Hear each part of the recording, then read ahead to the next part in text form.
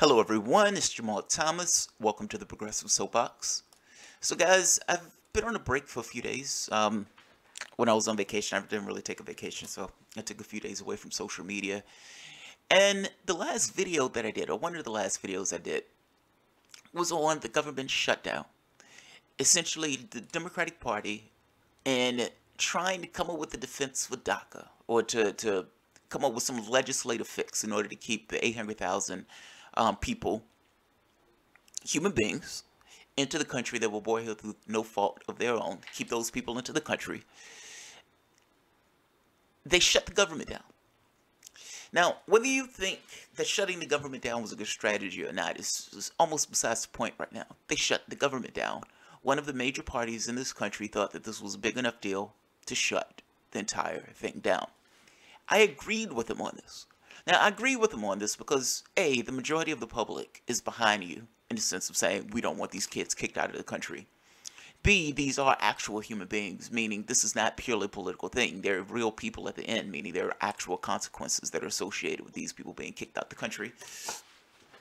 C, if you're going to run your party to the exclusion of everything else, meaning identity to the exclusion of everything else, then from the sake of consistency, looks like you would have to represent those identities. Meaning, if we're going to take economics off the table, and we're going to say, you know, we're going to be for LGBTQ, we're going to be for black, we're going to be for Hispanic, etc., etc., etc. We're the party of identity. Then it's a little weird when one of those identities need your assistance and you're willing to not necessarily go to bat for them. So from a standpoint of consistency, this made sense to me. But now this gets a little weird because the party, the major party that shut down the government, within three days reopened the government. The one singular demand that they had was on this idea of DACA. There needs to be a real long-term fix for DACA, a legislative fix for DACA. We don't want to kick these kids out of the country and there's a ticking time clock, or there's a ticking clock. The government was reopened. There was no fix for DACA. The only thing, the only concession, if you want to call it a concession, the Democrats got was if you open the government back up, we'll pledge to bring this up. Meaning Mitch McConnell gave his word. That's it. That's all they have. The, what they ended this on, we're shutting down the entire thing. We're shutting down the edifice. And what we have to open it back up is a pledge from Mitch McConnell. Now, this pledge in no way takes into account what takes place if Mitch McConnell is voted down. It doesn't take into account what takes place if Paul Ryan in the House says, yeah, we don't want to do anything with this. It says none of that. It's just a pledge, as if Mitch McConnell has absolute power over both branches of government. Or I should say both houses. But whatever. That's what they went with, and that's what they were willing to start the government back up on.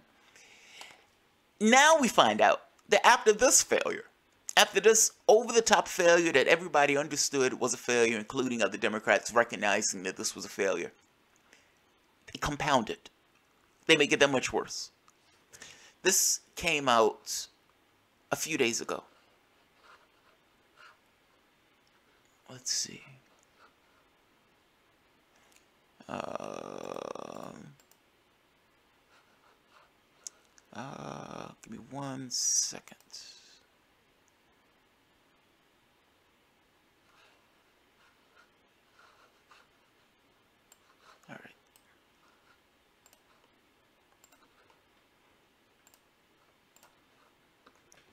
Budget talks progress as Senate Democrats drop Dreamer demands.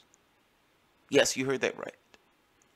Budget talks progress as Senate Democrats drop Dreamer demands.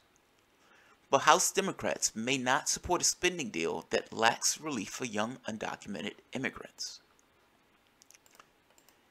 In case you didn't fully understand what was being said here, yes, you heard that right the Democratic Party shuts down the United States government. The United States government is shut down for three days. They shut this down over DACA because they believed and they cared for these kids so much that they needed this particular thing to stop.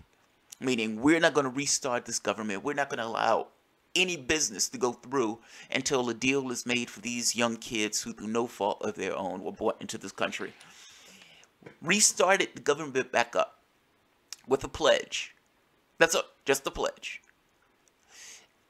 And now they've taken it off the table entirely. Meaning, yes, they shut the government down, but they were willing to take that particular demand, the main demand, the singular demand almost, off the table entirely. This is amazing. I mean, it's amazing on a few counts, but just from the level of gross, what, what's the word I'm looking for? Gross inconsistency. How do you shut the government down over a particular issue and then you restart the government without a resolution to that particular issue, and then, with a few days later, you take the issue completely off the table. Let's read the story. I, I, I, I find this to be amazing. That's all. I find this to be amazing. It's not so much that I'm shocked by the failure. It's more so that it looks so over the top ridiculous that I got to be honest. I wouldn't have expected them to look this bad. Let, let me say it that way. This is pathetic. This is pathetic. This is pathetic on a level that's breathtaking. Senate Democrats are willing to drop their demand that relief for Dreamers be tied to any long term budget agreement, a potential boost for spending talks, but one that could face opposition from their House counterparts.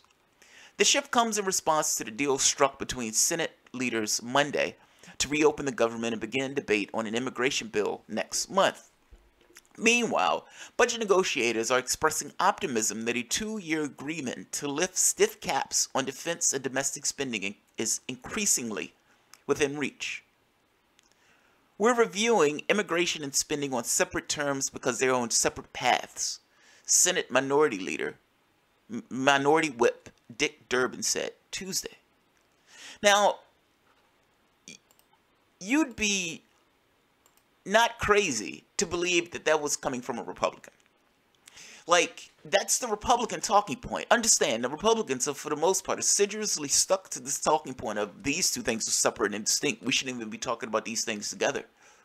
Democrats shut the government down. Three days later, completely cave and collapse. Just fall apart. A few days later after that, oh yeah, these are separate paths. We agree with our Republican counterparts. These are on separate paths. These things should not be tied together. That's just a level of capitulation that I, don't think I've ever seen before. That's amazing. Embarrassing, but amazing. Let's keep going. Some Majority Leader Mitch McConnell's procedural concession means that we've got a deadline in the process, Durbin added. That, to me, is a significant step forward. I'm glad it is just to you.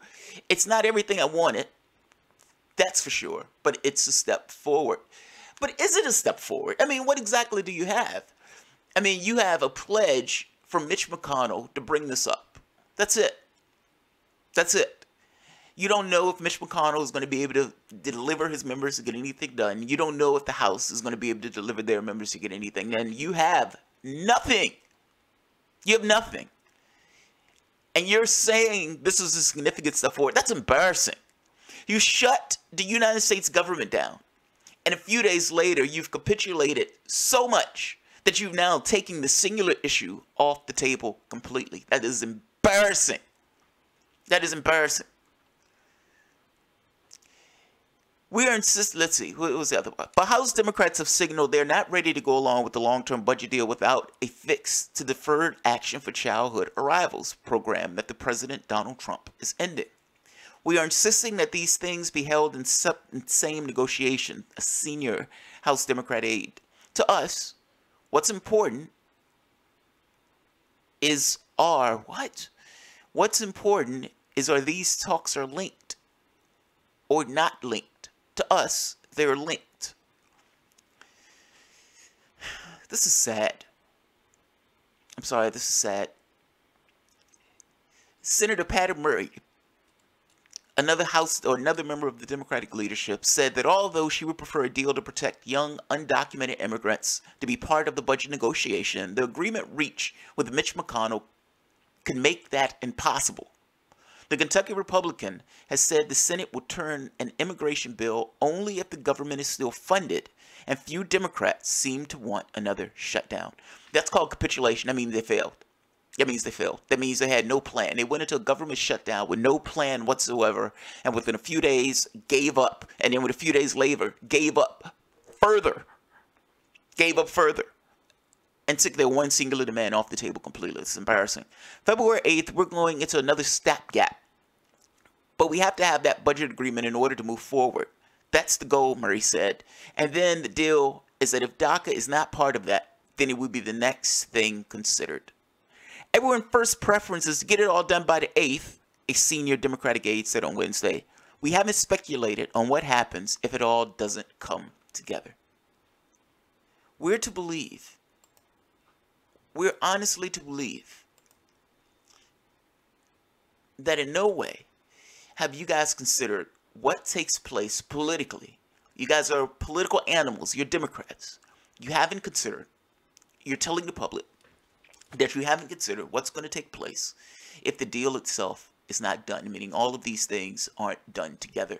Do you understand how ridiculous this looks? You shut the government down. Within three days, you completely fold. You just, you're done.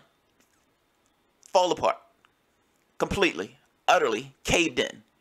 Everybody records it as such. You have one or two hacks that come out and say, hey, hey, no, this cave in is really a win, but ultimately it's a failure. And a few days later, you fail. It's almost like falling through the floor and falling through the floor some more. This is one of the um I thought this was funny because I found this to be pretty true. This is Chuck Schumer's, um, under Chuck Schumer's office. I shut the government down and all I got was this lousy t-shirt. That's all I got. They've been trolling Democrats, Donald Trump, and some of these other Republicans. Because when you fail to this degree and you're in politics, well, it's not like you failed in secret. Everybody understood that you failed, including the kids who are going to be kicked out and deported from this country because of your failure and your weakness. This is embarrassing. This is embarrassing. This is your resistance, ladies and gentlemen. This is your resistance. Your resistance at work. Your resistance at work. I'll leave it at this. I'm not going to beat a dead horse, and I'm pretty sure I beat a dead horse on this to some degree. It's just, there's, whether you thought that shutting down the government was a good idea or not, put that to the side for the moment. Put that to the side one of the major parties came up with a plan to shut down the government, and that plan really had no backing at all. Meaning, they had there was no there was there was no thought into it. I mean, can you honestly say there was thought into this process when three days later you're giving up, you're capitulating, and in a few days after that, after capitulating, you take the entire thing off the table entirely we would like to have a deal on DACA, but it's not required. If we don't get a deal on DACA, we'll deal with the next. We'll deal with the next. Is this your resistance? Is this actually your resistance? Is this a resistance at all? And what does a resistance actually look like? And does it look like this? Does it look like this? They failed because they didn't want to stand up for these kids. That's what it boils down to. And this this is failure on multiple levels. The reason that these kids are in the situation in the first place is because Democrats wanted to use these kids as a political football. Either from the standpoint of hitting Republicans over their head with them in the sense of being in the off times of, oh my God, you're going to kick these kids out of the country, you're brutes. Or you're going to vote for us because if you don't, you're going to get a Republican in that office who's going to kick you out the country.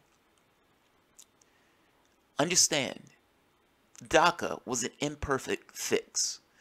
It was going through the court system, meaning even if a Democratic president would have won, it's very possible that that Democratic president would have been compelled to follow the law on this. I'm making the point that this was already an imperfect fix. If you actually cared about these kids, then you would have did something more permanent in the beginning, not necessarily doing this kind of DACA fix yeah, this is problematic, man. All, all, I'm saying is, if you're going to represent identity to the degree that you represent identity, and you're going to exclude issues of economics Well, now you have this issue of identity that's up. And the question that's kind of lingering in the air like a bad smell is what do you actually believe? And if you full well believe in these issues of identity and you believe that, oh my God, we got to go to bat for these issues of identity and we, you know, LGBTQ and blacks and Hispanics, et cetera, et cetera, et cetera. And now you have a situation that is questioning what you actually believe and putting that question into the test. I don't care about your values. I don't care what you tell me. We care what you do. And in this particular case, we've seen massive inconsistency and when, when people needed you, when there are nearly a million kids who need you, you fold. Not just fold, you fold to such a degree where you even take the issue off the table entirely. That's pathetic. That's all I'm saying. That's immensely pathetic. I'm going to end it at that. I'm going to beat a dead horse. Alright guys, if you enjoy the content, feel free to share, like, subscribe, and of course, you can always support through Patreon. This is appalling. Look at this. Look at his face. That is the face of somebody who's failed miserably. And he knows he failed miserably. I'll end it at that. Have a good one, guys.